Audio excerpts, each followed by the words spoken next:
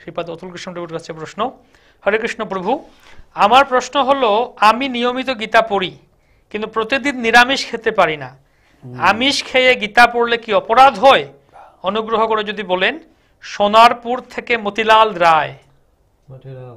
মতিলাল। এবং আমাদের গীতার বিদগ্ধ পণ্ডিত প্রভু প্রভু উত্তর দিন। মতিলাল রায়। ভালো প্রশ্নটা খুব ভালো হয়েছে।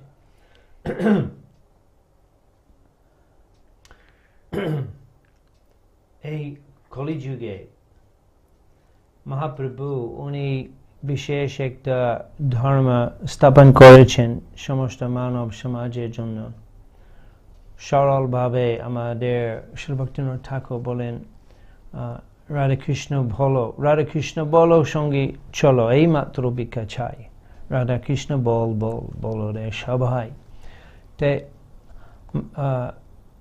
অন্তিমভাবে মহাপ্রভুর আন্দোলন শিক্ষা সিদ্ধান্ত হচ্ছে যে আধ্যাত্মিক জীবন উন্নত করা সম্ভব এই কলিযুগে হরিনাম সংকীর্তন মাধ্যমে। এবং গীতাও গীতা অধ্যয়ন, গীতা গীতাও কৃষ্ণ বলছেন, সততম কীর্তয়ন্ত মাম, সততম কীর্তয়ন্ত মাম, সর্বদয় আমার কীর্তন নিযুক্ত থাকা হচ্ছে কৃষ্ণের উপদেশ গীতায়। এবং সংকীর্তন যজ্ঞ এটা অতি সহজ। ঠাক- আহ, লোচন দাস ঠাকুর উনি বলছেন কেবল আনন্দখণ্ড দেখেন মতিলাল যদি আনন্দ না হতে কি করে আমাদের মতো বিদেশি লোক অবলম্বন করতে পারি এই সংকীর্তন আন্দোলন? এটা অতি সহজ।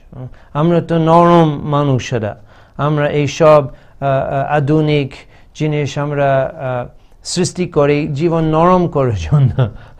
আমরা এটা সহ্য সহ্য করতে পারি না এই- এই এই কষ্ট দয়ক জীবন। এবং আমরা এই হরিনাম সংকীর্তন আন্দোলন অংশগ্রহণ করতে পারি। এটা অতি সহজ। এবং সংকীর্তন হরিনাম মহা মহামন্ত্র মহাপ্রভু যখন উনি জিজ্ঞেস করেছেন কাছ থেকে ছিল ঈশ্বর পুরী প্রপারের কাছ থেকে কি বা মন্ত্র দিল গোসাই কি বা তা বল।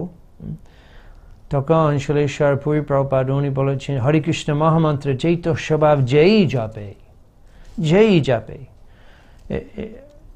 যদি হরিকৃষ্ণ মহামন্ত্র জাপ করেন, আর সব ব্যবহার এটা পরে ব্যবস্থা করা হয়, এটা পরে মোচনা হয়ে যাবে তবু প্রধান সাধন আধ্যাত্মিক চেতনা উন্নত করার জন্য এই কলিযুগে হচ্ছে নাম সংকীর্তন। যেই যাপে তারে কৃষ্ণে উপজয় ভাব ভাব, ভক্তি ভাব, কৃষ্ণের প্রতি এবং হচ্ছে ভক্তি মার্গ আমরা সেই সম্পর্ক শ্রীকৃষ্ণের সঙ্গে স্থাপন করা ফলে সেই সম্পর্কের মাধ্যমে বিনিময় করে আমরা চিন্ময় ধামে ফিরে যেতে পারি। কৃষ্ণের কৃপায়, কৃষ্ণ বলছেন যে এই ভজন্তি তুমাম ভক্ত ময়িতে তেসু চাপিয়া আম- আমার যারা আমার ভজন করেন আমি তাদের প্রিয় বন্ধু হই এবং যত কিছু লাগে তাদের জন্য আমি ব্যবস্থা করি তা হরিনাম করি এবং আস্তে আস্তে আর সব ব্যবহার যেটা এটা নিষিদ্ধ নিষিদ্ধ নিষিদ্ধ নিষেধ নিষেধ। নিষেধ ছেদ। নিষেধ আর নিজে আহ, উপলব্ধি পেয়ে এবং সারণ সারণ ভক্তি অনুশীলন করার প্রভাবে এসবগুলো আস্তে আস্তে পরিত্যাগ করা সহজ হবে এবং সম্ভব হবে। কেবলমাত্র গীতা অধ্যয়ন করুন এবং হরিনাম করুন এবং আস্তে আস্তে সেই পন্থা সব বাধা বিঘ্ন ক্লিয়ার হয়ে যাবে ভগবান শ্রীকৃষ্ণের কৃপায়। কৃষ্ণ, ধন্যবাদ প্রভু। তো আপনাকে বলেছেন, মানসী পাল, কি সুন্দর বাংলা বলেছেন। জয় যে তো